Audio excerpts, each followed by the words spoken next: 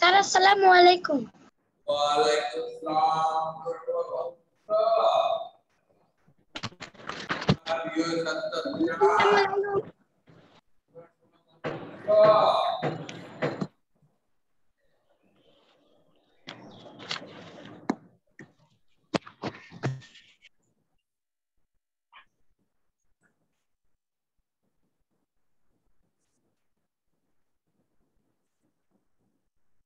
আমার প্রিয় ছাত্র দ্বিতীয় শ্রেণির ছাত্রছাত্রীরা। আশা করি তোমরা সবাই ভালো আছো? হ্যাঁ একজন মাত্র উপস্থিত, আর কেউ নেই। হ্যাঁ তোমরা কোথায় গেছ? হ্যাঁ শুধু তুমি আছো? আর কেউ নেই? তুমি উপর বসছো কেন? চেয়ার টেবিলে না বসে চেয়ার টেবিলে না বসে খাটে বসছো কেন?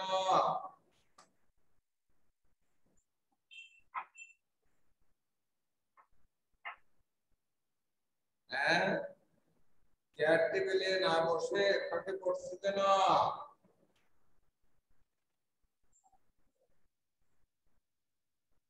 মা! হ্যাঁ? মা হ্যালো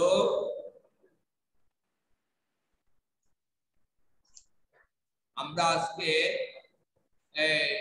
হিন্দু ক্লাস শুরু করতে যাচ্ছি।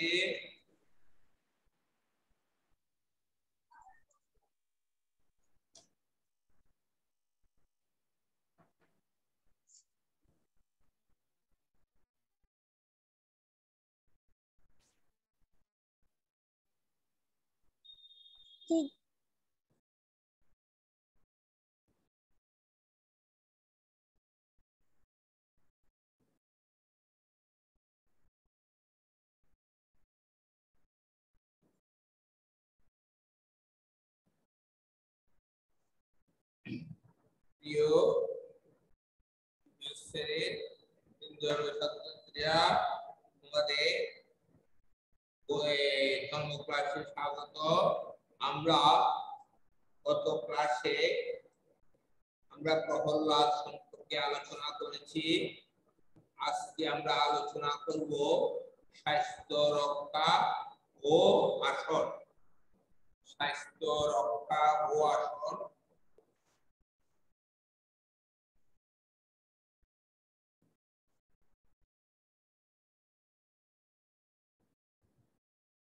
আমাদের বিশেষ পাঠ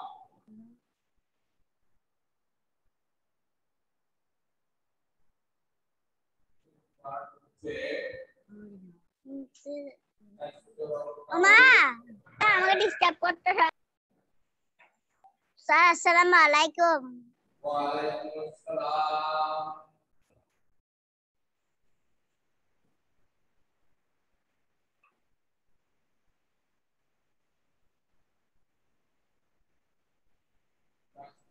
স্বাস্থ্য রক্ষা ও আসন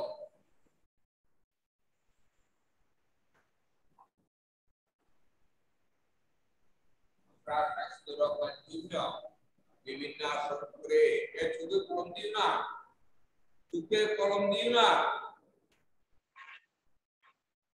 চোখে কলম দিও না শুধু কলম দিও না হ্যাঁ আমাদের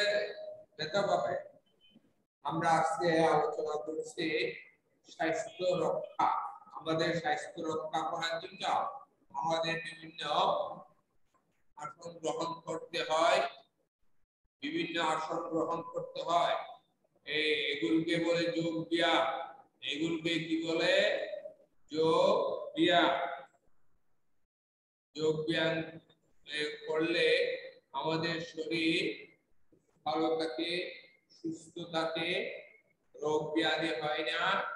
এই জন্য আমরা আজকে স্বাস্থ্য রক্ষা সম্পর্কে আলোচনা করব। আমাদের স্বাস্থ্যকে- কীভাবে রক্ষা করব এই নিয়ে আমরা আজকে আলোচনা করব। দেখো শরীর সুস্থ রাখার নাম স্বাস্থ্য। তাহলে স্বাস্থ্য কাকে বলে? শরীর সুস্থ রাখার নাম স্বাস্থ্য। স্বাস্থ্য রক্ষা বলতে শরীর ও মনকে সুস্থ রাখা বোঝায়। স্বাস্থ্য রাখার জন্য বেশ কিছু নিয়ম পালন করতে হয়। আমাদের স্বাস্থ্য রক্ষার জন্য বেশ কিছু নিয়ম পালন করতে হয়। যেমন, নিয়মিত খাওয়া দাওয়া করতে হবে ব্যায়াম করতে হয়, ঠিক সময় ঘুমাতে হয়, ভোরে ঘুম থেকে উঠতে হয়, হাত, পায়ের নখ ছোট রাখতে হয়, এই জিনিসগুলো আমাদের করতে হয়। নিয়মিত খাওয়া দাওয়া করতে হয়, নিয়ম মাফিক। দুপুরের খাবার, বিকালে, সকালের খাবার, দুপুরে সেরকম না। যথাসময়ে হ্যাঁ সকালের নাস্তার সময় সকালের নাস্তা, দুপুরের ভাতের সময় দুপুরের ভাত, রাতের খাবারের সময় রাতের খাবার। ঠিক টাইমে আমরা এই জিনিসগুলো করব। ঠিক টাইমে না করলে আমাদের শরীর খারাপ হয়ে যাবে। তাহলে আমরা এই জিনিসটা মনে রাখব। ব্যায়াম করতে হয় সময় ঘুমাতে হয় পরে ঘুম থেকে উঠতে হয়। তোমরা তো পরে উঠে আটটা নয়টার মাঝে উঠো, এটা শরীরের জন্য খুব ক্ষতি। তার বুঝছ হাত ছোট রাখতে হয়, সাবান দিয়ে স্নান করতে হয়। শরীরে আমাদের বিভিন্ন জীবাণু থাকে। এই জন্য আমরা কি করি স্যার? সাবান দিয়ে স্নান করে, এভাবে চললে শরীর সুস্থ থাকে। শরীর সুস্থ থাকলে ভালো থাকে শরীর যদি খারাপ থাকে, মন খারাপ থাকে, মনও খারাপ থাকে। তাই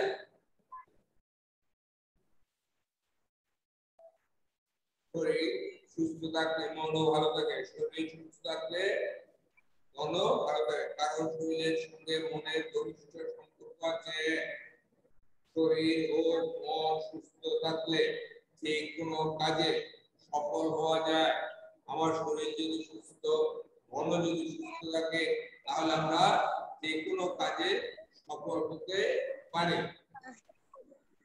স্যার কি বলছেন যে? হ্যাঁ শরীর অসুস্থ থাকলে কোনো কাজে মন বসে না শরীর খারাপ থাকলে কোনো কাজ করতে ইচ্ছে হয় না। হ্যাঁ কীরকম খারাপ লাগে? ফলে সফলতাও আসে না। স্বাস্থ্য রক্ষার সঙ্গে ধর্মেরও সম্পর্ক আছে। তোমার যদি স্বাস্থ্য ভালো না থাকে, তুমি কীভাবে কীভাবে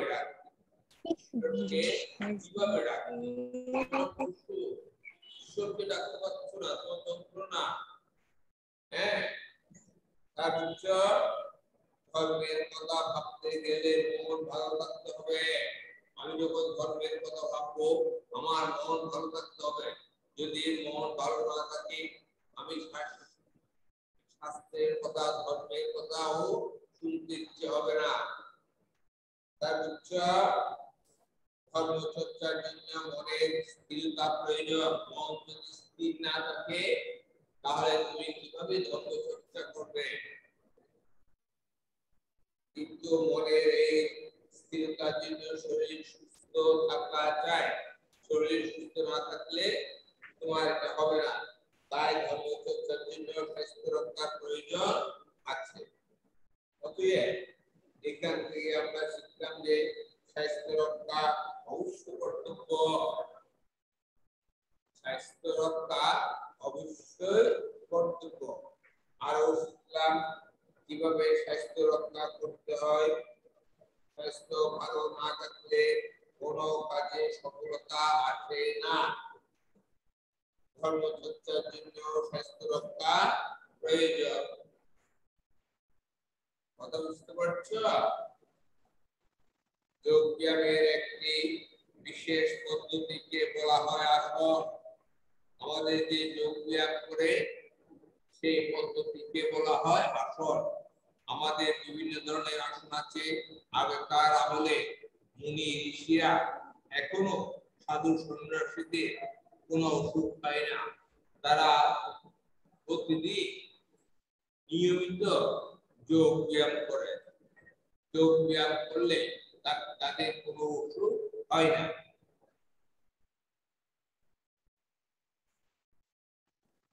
তাহলে যোগ ব্যায়ামের বিশেষ পদ্ধতিকে বলা হয় আসন। আসনের করে করে সুস্থ থাকতে কাজ করার ক্ষমতা বাড়ে প্রাচীন কালে, ওই যেটা বললাম তোমরা, প্রাচীন কালে মানে আগকার আমলে মুনি ঋষিরা মুনি ঋষিরা কি করতো? এই শ্রমণে মুনি ঋষিরা বিভিন্ন আসন করতে এতে তাদের শরীর সুস্থ থাকতো বলে তারা মনোযোগ দিয়ে উপাসনা করতে পারতেন। ধর্ম চর্চা করতে ঈশ্বরের ধ্যান করতে পারতেন সকালে উঠে যোগ ব্যায়াম। হ্যাঁ। স্যার আমি প্রতিদিন সকালে উঠে যোগ ব্যায়াম করি। বর্তমানে সাধারণ মানুষ বিভিন্ন আসন করে শরীর সুস্থ রাখার জন্য। এমনি সাধারণ মানুষ হিন্দু মুসলিম বুদ্ধ খ্রিস্টান ওরাও শরীর সুস্থ রাখার জন্য বিভিন্ন আসন গ্রহণ করে। বুঝছেন যেমন এক পদ্মাসন এক মানে পদ্মের মতো করে পা একটার উপর একটা করে দিয়ে বসা পদ্মাসন তারপরে সবাসন সব মানে মৃতদেহ যেমনি উপরে পরে থাকে ওরকম মতো পরে থাকতে হবে। এটা হচ্ছে সবাসন তার হচ্ছে, এটা হচ্ছে আমাদের সবাসন তাহলে এই এই ধরনের সুখাসন আছে পদ্মাসন আছে সবাসন আছে, ইত্যাদি বিভিন্ন ধরনের আসন আছে। গোমুখাসন আছে আমি আজকে প্রথমে আলোচনা করছি সুখাসন কীভাবে এই আসনে মনে সুখ আসে আমরা সেটা নিয়ে এখন আলোচনা করব। সুখাসন করার সময় দুই পা ভেঙে ওই একটা মেয়ে সুখাসন করতেছে। দেখো, দুই পা ভেঙে একটা একটা উপরে আর নিচে আছে। আমরা সাধারণভাবে আসন করে যেটা বসি সেটাই সুখাসন দুই পা ভেঙে সোজা হয়ে বসতে হবে। প্রথমে ডান পা, প্রথমে ডান পা। তারপরে বাম পা ভেঙে বসতে হবে এবং প্রথমে ডান পা ভেঙে 30 সেকেন্ড, তারপর বাম পা ভেঙে 30 সেকেন্ড। প্রথমে ডান পা, পরে বাম পা ভেঙে বসতে হবে বাম হাতের তালুতে, বাম হাতের তালুতে, ডান হাতের তালু। স্যার, বাম হাতের এই সমরীরা এই এটা বাম বাম হাতের তালুতে আমরা ডান হাতটা এভাবে রাখব। হ্যাঁ এভাবে রাখব। বাম হাতের তালুতে ডান হাত চিত করা অবস্থায় কোলের উপর রাখতে হবে। এভাবে 30 সেকেন্ড থাকার পর বিপরীত ক্রমে বসতে হবে। কোন ডান পা ছিল? এবার বাম পা সুখাসনের আরেক নাম হচ্ছে বীরাসন সুখাসনের আরেক নাম হচ্ছে বীরাসন বীরের মতো আসন করা। এতে বাত ইত্যাদি রোগ ভালো হয়। এই আসন করলে বাত জনিত ব্যথা জনিত রোগ ভালো হয়। মনের একাগ্রতা বাড়ে, দীর্ঘ জীবন লাভ হয়। স্বাস্থ্য রক্ষার জন্য এই আসনটি জরুরি। স্যার, স্বাস্থ্য রক্ষার জন্য এই আসনটি জরুরি।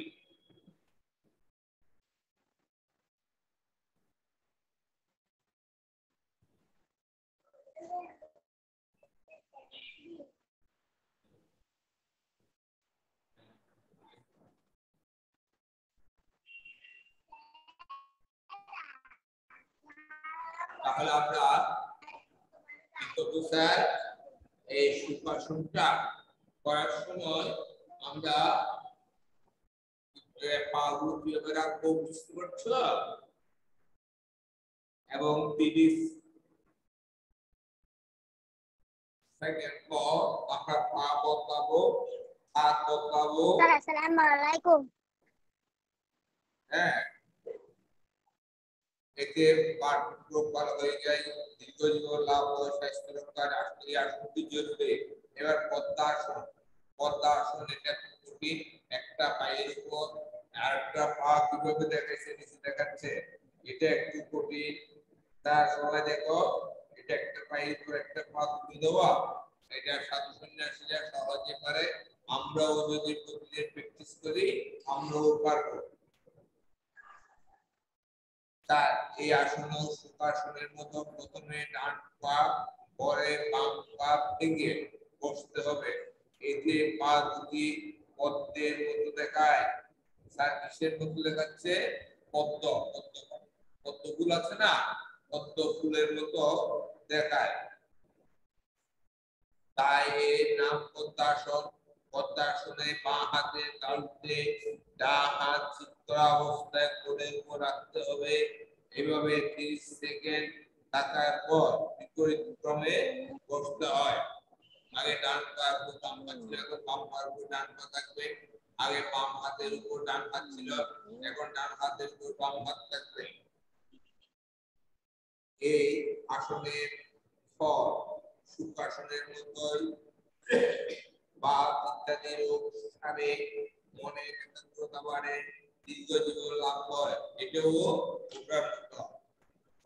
আপনারা এবার দেখো সবার সব একটা ছেলে মাটিতে পড়ে আছে মৃত্যু দেহের মতো। হ্যাঁ তার পা কতটুকু ফাঁক হবে, আর তার গোড় দিকে কতটুকু ফাঁক হবে, চোখ বন্ধ থাকবে, মৃত মানুষের মতো। এটাকে বলে সমাসন এই যে শরীরে রক্ত চলাচল খুব সহজ ভাবে করবে। হ্যাঁ? প্রত্যেকটা আসন করার পর আমরা কিছুক্ষণ সবাসন করি, আবার আরেকটা আসন শুরু করি। এই আসনে সব, অর্থাৎ মরার মতো চিত হয়ে শুয়ে থাকতে হয়, তাই এর নাম সবাসন সব। মানে মৃতদেহর মতো শুয়ে থাকতে হয় বলে এর নাম হচ্ছে সবাসন সবাসনে পা দুটি একটু ফাঁক করে রাখতে হয়। ওই দেখাচ্ছে, দেখো, একটু করে ফাঁক করে রাখতে হয়। নিয়ম মতো হ্যাঁ স্বাভাবিক ভাবে নিয়ে দম নেবে। এমনি যেভাবে আমরা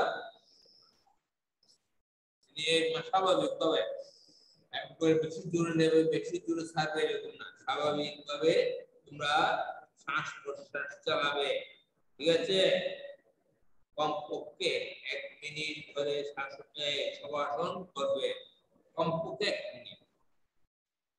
অনেকে ক্লান্তি দূর করার জন্য পাঁচ থেকে দশ মিনিট পর্যন্ত সবাসন করে থাকে। শরীরে একদম ক্লান্ত হয়ে তখন পাঁচ থেকে দশ মিনিট তারা এই আসন এই আসন করলে ক্লান্তি দূর হবে, নতুন কর্মশক্তি পাওয়া যাবে। আমরা এই আসনটি করলে অধিক রাত পর্যন্ত লেখাপড়া করতে পারব তাতে স্বাস্থ্যহানি ঘটবে না। কথা বুঝতে এবার দেখো, আমরা জানলাম আসন, অনুশীলন। আমরা কি জানলাম? বিভিন্ন আসন, অনুশীলন। করলে শরীর সুস্থ থাকবে, মনের একাগ্রতা বাড়বে ফলে আমরা পড়াশোনায় মনোযোগী হতে পারব। তাই স্বাস্থ্য রক্ষার সঙ্গে আসনের ঘনিষ্ঠ সম্পর্ক রয়েছে। তাহলে আপনাদের পড়া থাকবে এই চ্যাপ্টার কত? স্বাস্থ্য রক্ষা ও শাসন। স্যার আপনি না হ্যাঁ আমাদের হ্যাঁ আমাদের ইন্দ্রম বাড়ির কাজ সপ্তম অধ্যায় সম্পূর্ণ। সম্পূর্ণ মানে প্রশ্ন সহ। সম্পূর্ণ মানে প্রশ্ন সহ। কথা বুঝতে পারছ? জি স্যার। হ্যাঁ।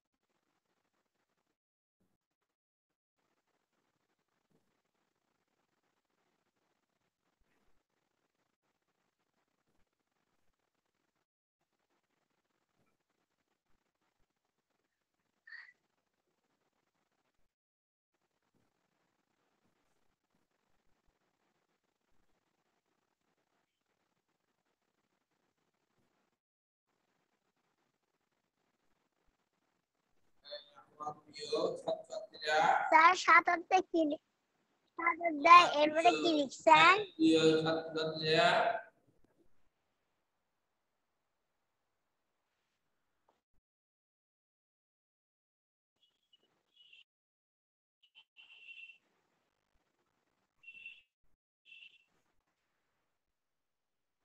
আমার প্রিয় ছাত্রছাত্রীরা, তোমরা কারের কাজ দিচ্ছ সপ- সপ্তম আমরা আগে রিডিং করব। তারপর আমাদের কি আছে? প্রশ্ন উত্তর আছে। প্রশ্ন উত্তরের মধ্যে কি আছে দেখো?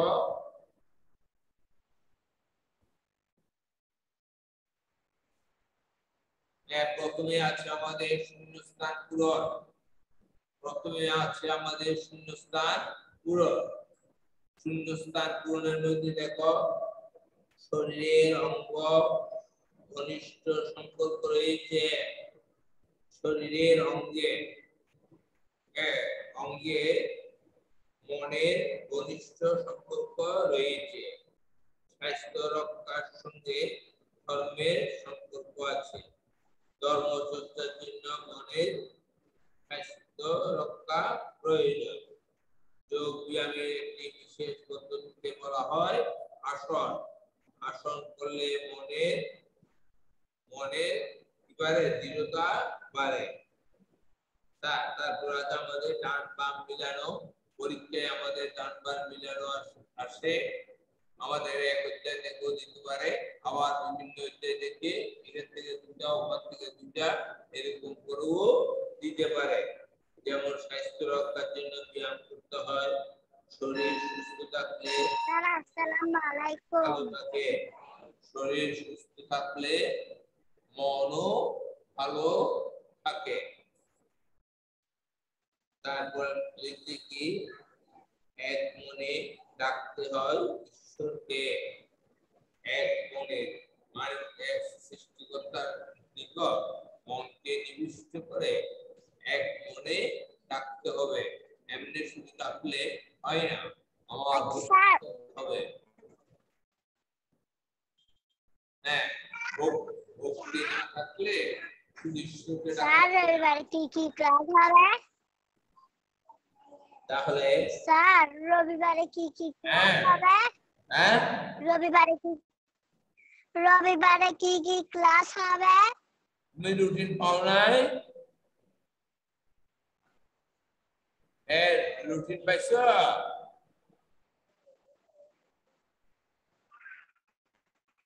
এ রুটিন না পালে না হ্যাঁ রুটিন না পেলে স্কুলে এসে রুটিনটা ও ফটোকপি করে মোবাইলে তোমার মাকে বলবে মোবাইল নিয়ে আসতে ছবি তুলে নিতে পারবে হ্যাঁ? তারপর বুঝতে পারবে। কেমন? দেখিও হ্যাঁ? তাহলে এবারে দেখো এক মনে ডাকতে হবে কাকে ঈশ্বরকে। আসনের পরে ফলে শরীর কি থাকে সুস্থ থাকে